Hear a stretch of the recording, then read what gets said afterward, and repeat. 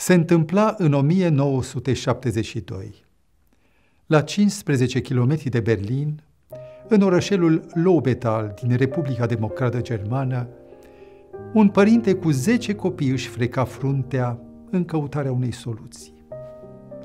Fiul lui cel mare, cu rezultate foarte bune la învățătură, fusese oprit să-și dea bacalaureatul. Motivul? Tatăl său, Uwe Holmer, era pastor luteran iar el, tatăl, simțea toată povara situației.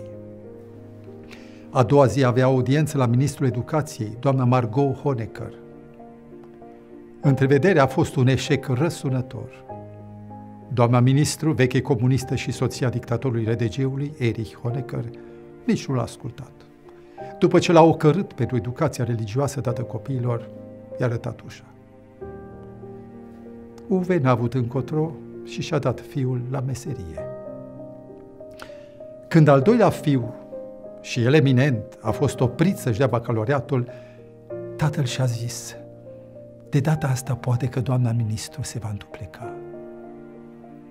Dar s-a întors acasă cu același rezultat. În consecință, l-a dat și pe al doilea la meserie. Pe măsură ce audiențele se acumulau, atitudinea doamnei Margot Honecker devenea tot mai cinică. După al zecilea eșec, pastorul Uwe Holmer s-a resemnat cu zece meseriași la ușa lui. Tulburările politice ale anului 1989 au dus la răsturnarea guvernului RDG-ului și demolarea zidului Berlinului. La 1 decembrie lui Erich Honecker i s-a intentat proces pentru genocid și înaltă trădare arestat, apoi eliberat sub motivul bolii avansate, bătrânul de 77 de ani și nevasta lui Margot s-au trezit sub cerul liber. Vila prezidențială își schimbase destinația, iar amicii se făcură nevăzuți. Resentimentele populare față de Honecker căpătau forme tot mai agresive. Și atunci, în acele momente abisale, pastorul Uwe Holmer își freca din nou fruntea. Cum va putea el rosti rugăciunea Tatăl nostru dacă în situația dată nu va mărturisi iertare în loc de ură? A vorbit cu soția sa și în pofida protestului celor apropiați, s-a prezentat la ușa de postului provizoriu al Honecărilor. Soția mea, Zigrid, și cu mine, vă imităm să veniți la noi unde sunt atâția, mai încap doi.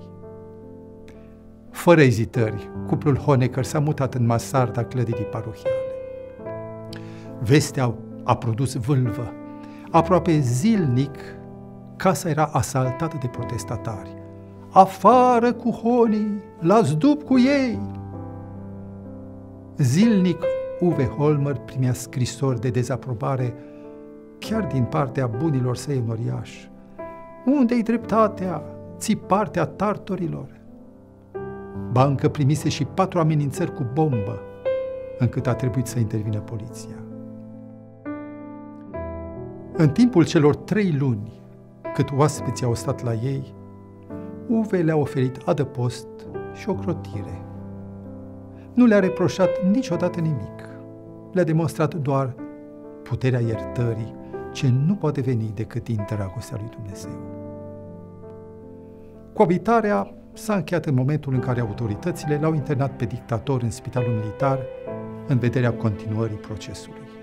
Despărțirea a fost amicală. După trei ani de tracasări și boală, fostul dictator murea exilat în Chile. Margot, în schimb, a trăit până în 2016 după toate aparențele, fără să regrete nimic. Un lucru mă urmărește în toată istoria.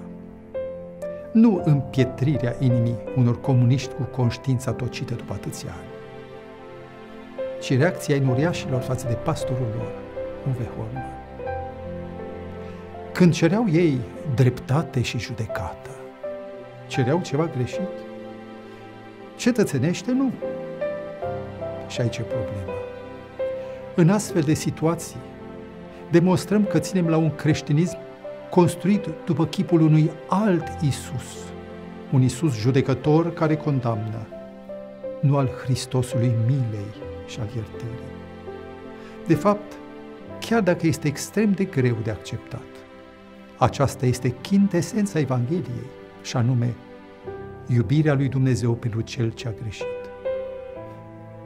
Gândește-te la aceasta când vei rosti rugăciunea domnească și ne iartă nouă greșelile, precum și noi iertăm greșiților noștri.